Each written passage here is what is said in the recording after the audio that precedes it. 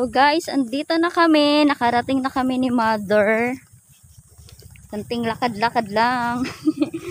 Pagtyagaan. Kasi nakipiesta tayo guys. Dito sa farm.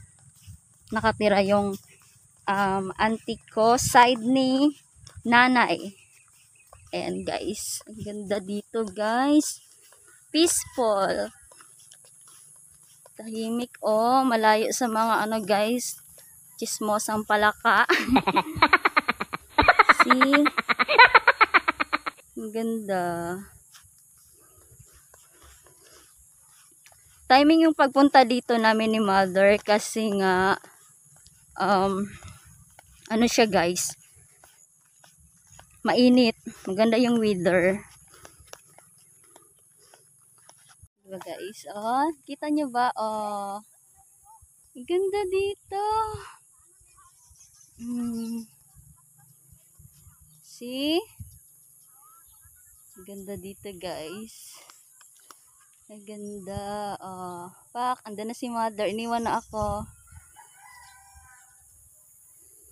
Ganda dito guys. So, lakad-lakad din pag may time. Kasi ganun talaga.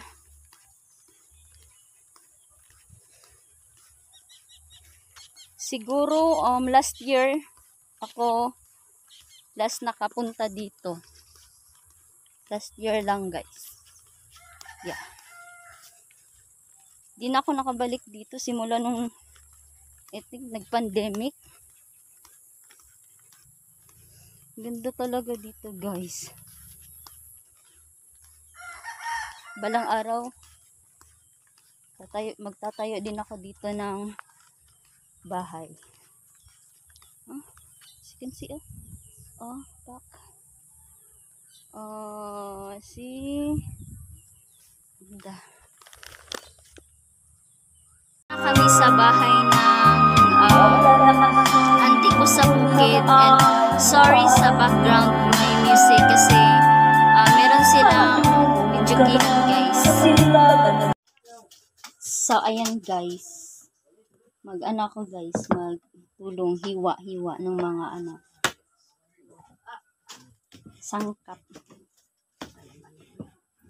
Na ilalagay natin sa pansit. O diba? Ganta kami pag nakipiesta kami guys. Tumutulong kami. Hindi kami nagpi-feeling bisita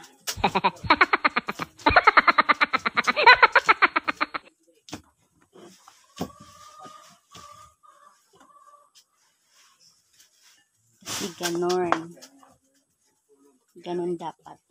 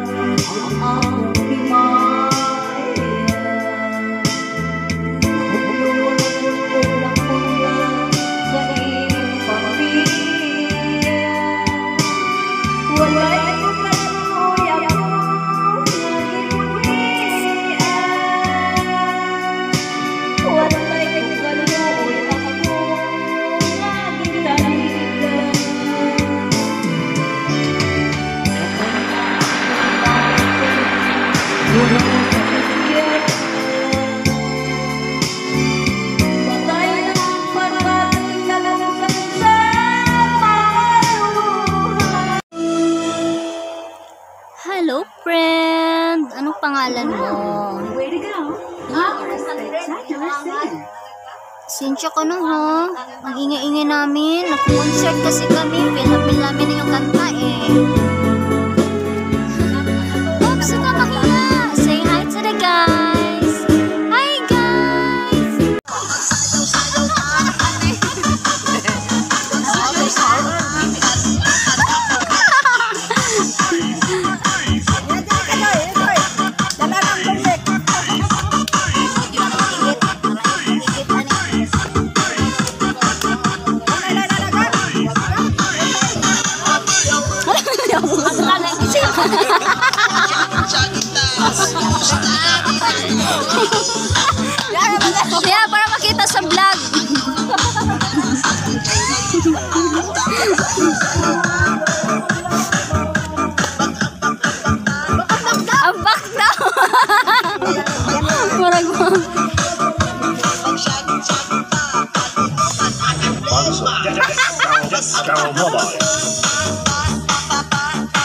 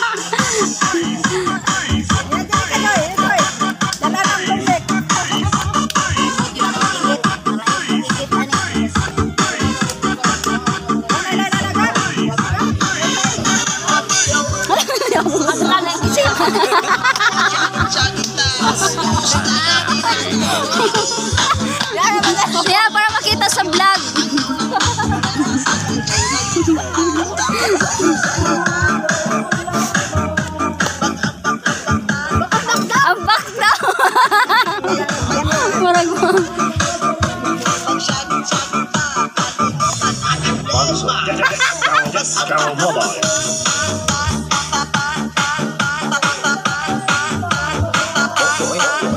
dạ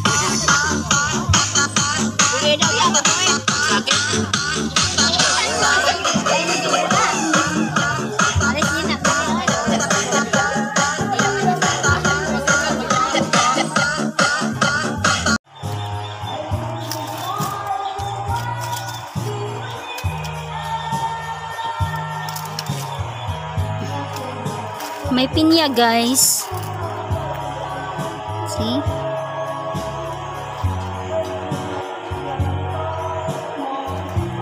Ang ganda.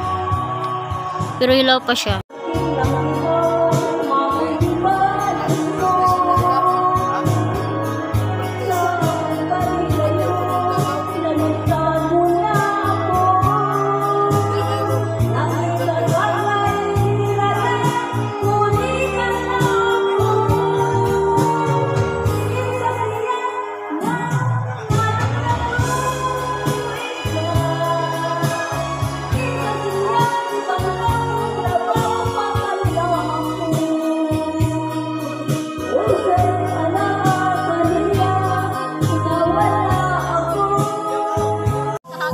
Bye guys! Hi guys! So, uuwi na siya. Yung papunta kami dito guys, kila auntie, may dala si nanay na ano, yellow, yung ice ba. Ngayon naman, pauwi na, meron ding dala. Of course, bring house. Malamang. So, ayan guys, malapit na kami sa, ano, labasan. Papasok kasi yung kila auntie, dito sa sulod